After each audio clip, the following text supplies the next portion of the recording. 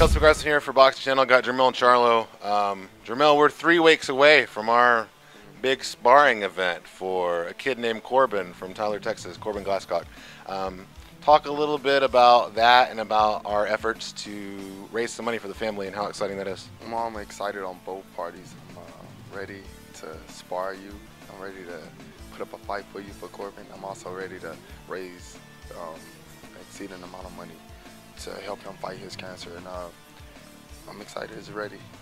It certainly is exciting. After I think only a week, we've got $2,600, and so we hope to get to our $5,000 goal and even exceed that. If we get there, we'll raise it. Of course, we've got three weeks. Um, Corbin, the doctors tell his family that he has a 50% chance, only a 50% chance of defeating cancer.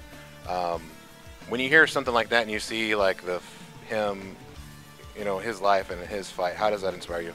Um, it inspires me a lot because I realize, you know, sometimes the fight he is, is no longer in his hands, you know, and so uh, me being a, a spiritual guy, I, I, just tune, you know, I just tune out what the doctors say, and I, and I believe in Corbin, you know, and so right now, just taking this chance to help him, and you know, means a lot, especially at the same time I'm getting ready for a major world title, you know, and I'm training.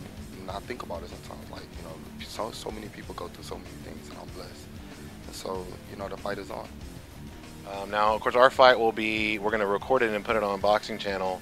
Um, tell the people uh, just how, how you feel about that and all that stuff. Well, you know, I got to do some, some tricky things. You know, you're a big guy, so, um, but I'm, I'm, I'm going to beat you up just because, you know. For Corbin, though, also, right? Of course, that's why. Um, so, yeah, so that's three weeks. Uh, we're excited about it, obviously. Um, are you going to take it easy on me? No, not at all he's been training. I've been training. So when you see me over there and you see my physical abilities, what do you what do you think about my my speed and whatnot? Now you fast. To me, you fast. And you strong, and, and you experienced. that, that could be worse for me. Um, so if you want to contribute to the fundraiser, you go to GoFundMe.com slash Team Corbin. That's one word. Team Corbin, C-O-R-B-I-N. And you can help us out, do a great thing for a great kid.